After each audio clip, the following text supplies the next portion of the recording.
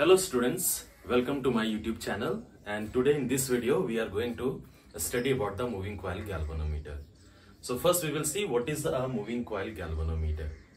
So moving coil galvanometer is a sensitive device, highly sensitive device which is used to measure very small value of current and its direction in a particular electrical network.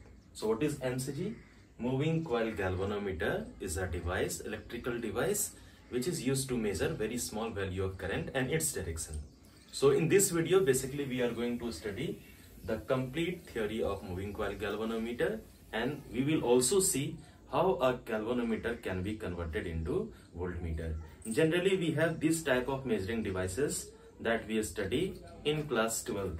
The first is ammeter. In electricity and magnetism we study ammeter, voltmeter, galvanometer then we have meter bridge and we have also the potentiometer meter bridge and potentiometer. These are the electrical devices. All these devices are measuring devices. Ammeter is used to measure the current. It is connected in uh, parallel. Voltmeter is used to measure the potential difference. It is connected in it is connected in series sorry ammeter is connected in series. Voltmeter is connected in parallel. Galvanometer it is used to measure very small value of current and potential difference and its direction. And meter bridge meter bridge is used to measure the known resistance of any wire or conductor. Potentiometer it is used to measure the emf of a cell. Okay so these are the measuring devices that we generally study. This uh, meter bridge and potentiometer we have already seen now we will see the moving coil galvanometer.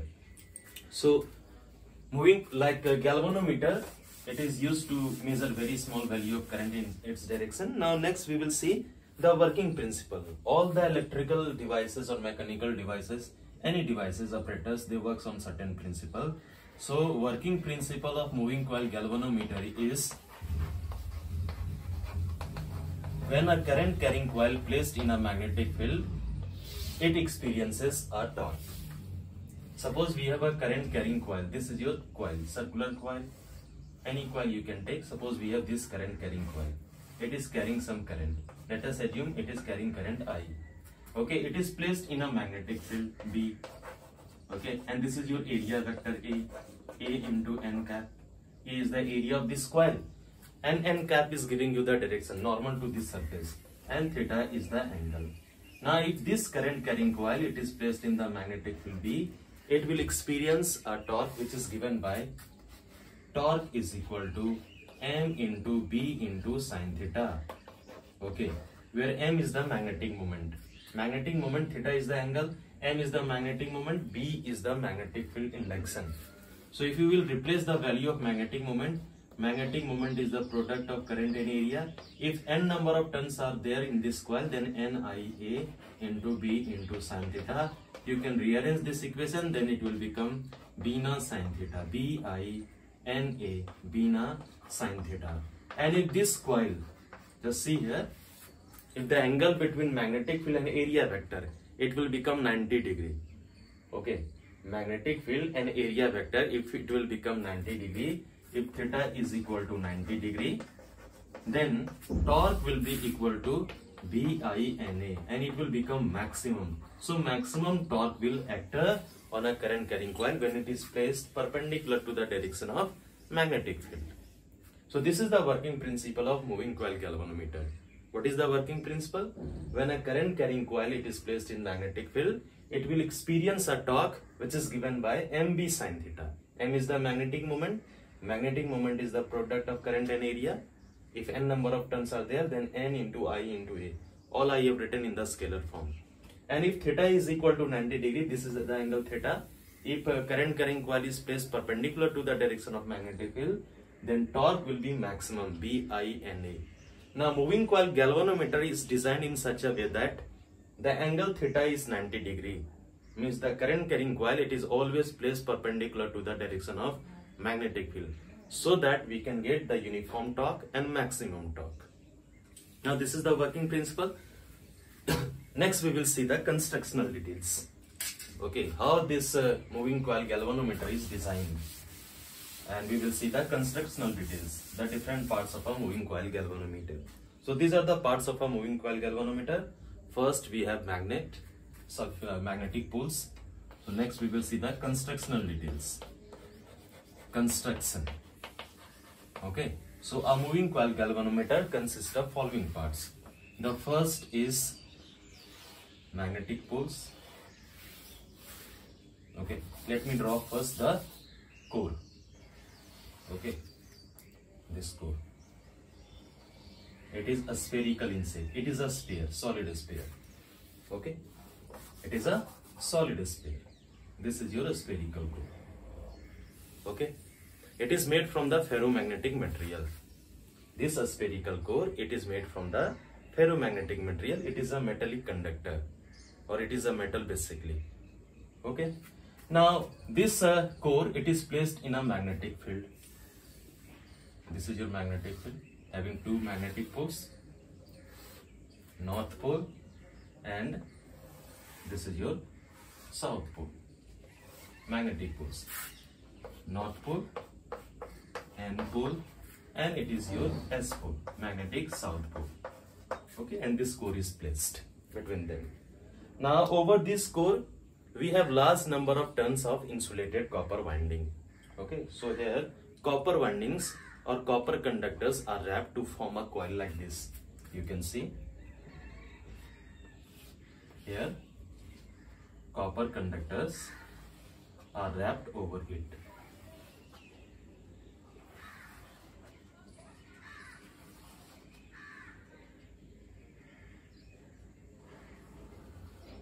Okay, and these are the terminals which are taken out from this construction. Now this center part is pivoted. The center part of this sphere, okay, or core, it is pivoted and here one spring is attached. A spiral spring is attached. This spiral spring will provide a controlling torque. It will provide a control to this moving coil galvanometer. Later on we will see. First we will see what are the constructional details. So this is one spiral spring. Okay? At the center of this sphere one pointer is connected. This is your pointer. You can see here this is your pointer. One scale is there. This pointer is there. Okay? And this pointer is running over a circular scale. We have one circular scale which is calibrated. You can see here. We have this circular scale which is calibrated here. Here you can see. We have this circular scale okay this is your circular scale. Okay, over this circular scale, this pointer is running. Okay, it is calibrated in terms of current or voltage.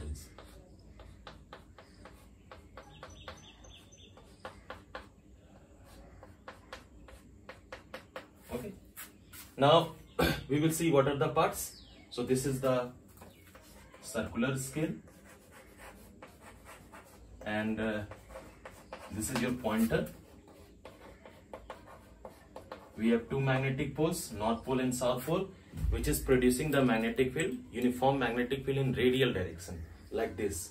When the magnetic field will start from north pole and it will go to the south pole it will be along the radial direction. It will pass through the center. All the magnetic field lines like this. You can see here if i will draw the patterns of magnetic field lines. You can see here patterns of magnetic field lines. These are the patterns of magnetic field lines. Or we can draw with the help of this. Yeah. Okay. This is the pattern of magnetic field lines.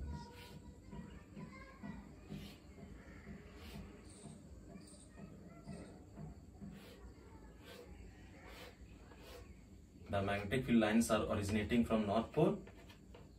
Okay and it is going to South Pole. They will accept. Yeah.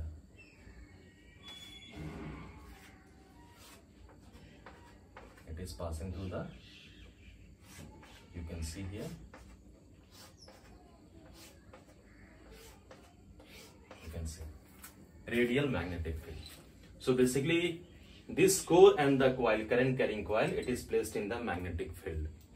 Now you can see this is the constructor uh, details of a moving coil galvanometer.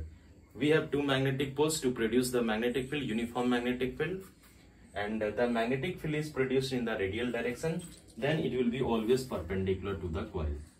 Okay, means this current carrying coil it is placed in the magnetic field perpendicular to it then theta will become 90 degree. Okay, it will be always 90 degree. Now we have this copper winding, insulated copper winding. These are the two terminals through which we will connect externally or in an electrical network we will connect this moving coil galvanometer. We have a pointer, we have this spiral spring and this is your pointer which is uh, deflecting or which is uh, moving over this circular scale. Okay, now we will see the working. How this moving coil galvanometer will work. So as soon as we will allow the current to pass through it, how we will allow the current to pass through it? Just we will connect a circuit. Suppose we have one electrical network continuous electrical network and current is flowing. Just we will take this these two points are taken out and these two points are connected in that electrical network. Then current will flow through this coil. Okay? When the current will flow through this coil it is it will become a current carrying coil. And now this current carrying coil it is placed in the magnetic field so it will experience a torque okay? So we know when a current carrying coil when a current carrying coil is placed in a magnetic field placed in a magnetic field it experiences a torque. It experiences a torque which is given by which is given by torque is equal to just I calculated Bina B-I-N-A okay? When angle is equal to 90 degree.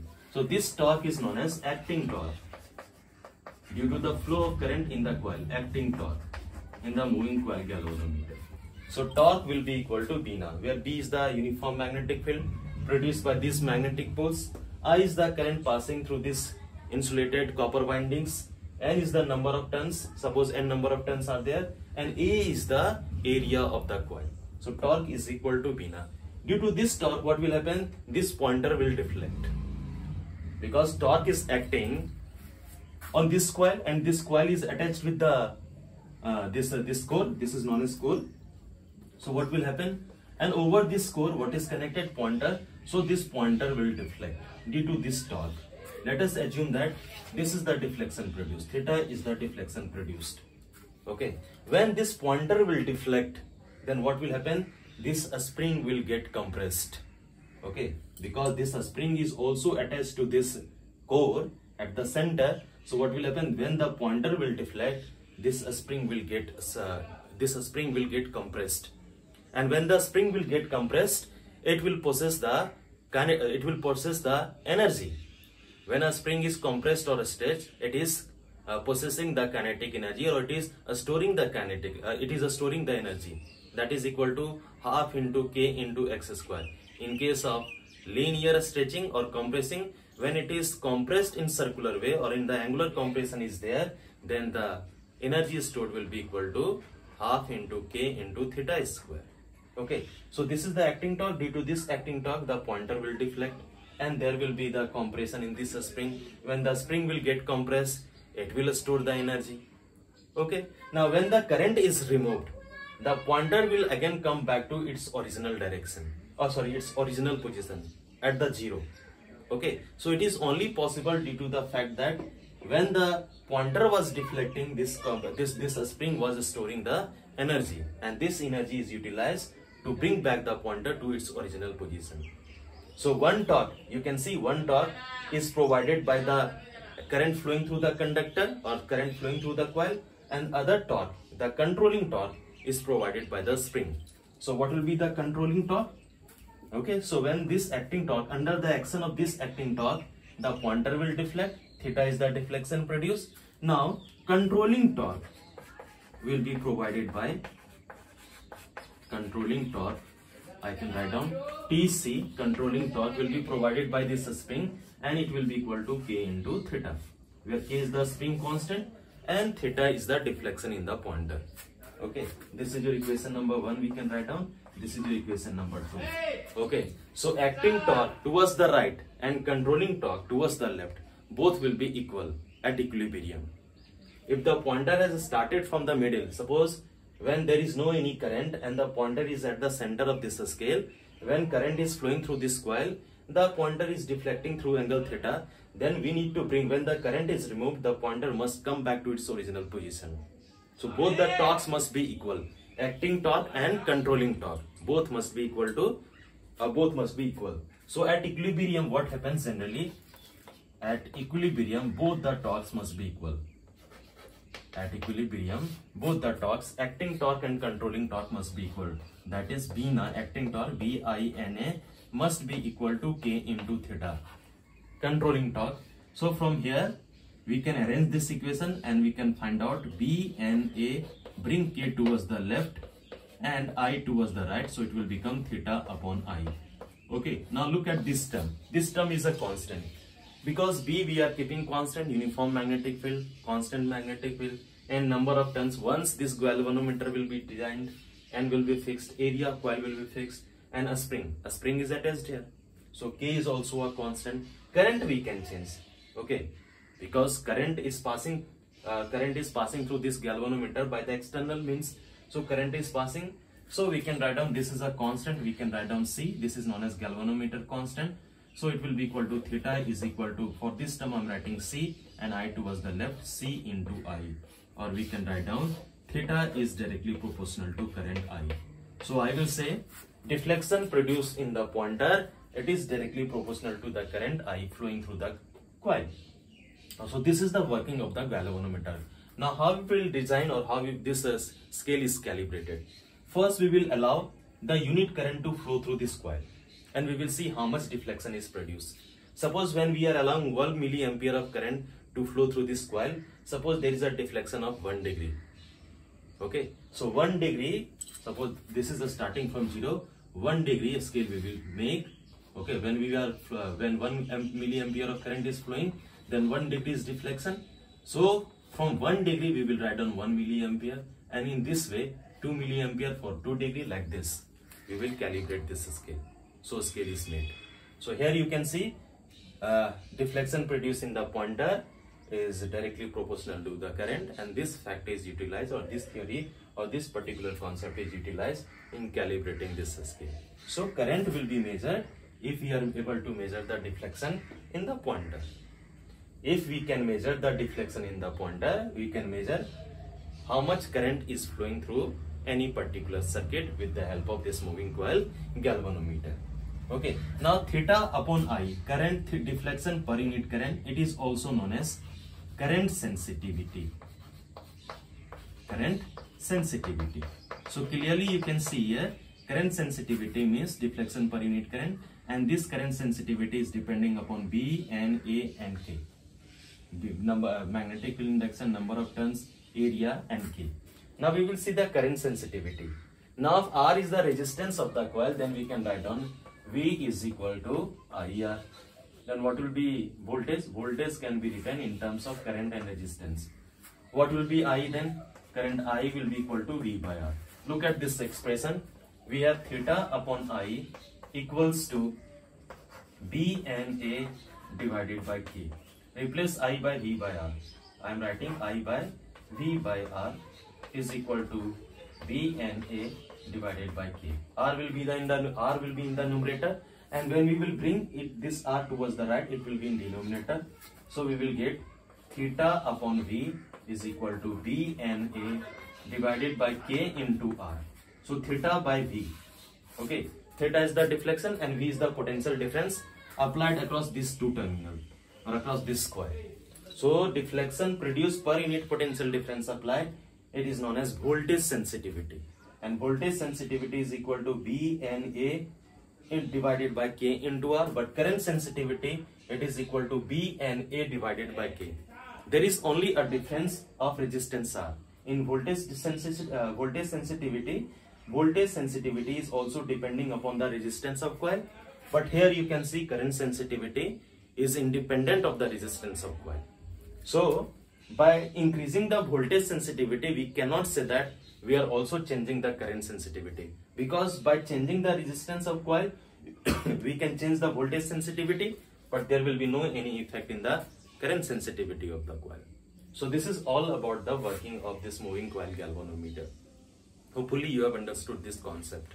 Now in the next video we will study about the conversion of moving coil galvanometer into voltmeter into ammeter.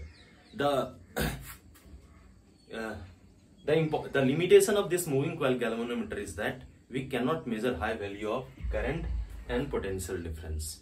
Because the resistance of this coil is very low if suddenly high value of potential difference will apply high value of current will flow or if high value of current is flowing through this uh, coil due to the heating effect of current this coil will get burned.